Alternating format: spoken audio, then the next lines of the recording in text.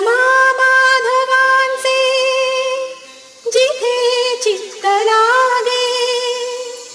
जिथे सत्यचिन्तामणि नित्य जागे. जय. जय. दया थे उचना गणेश प्रति आरती गाया दया थेरा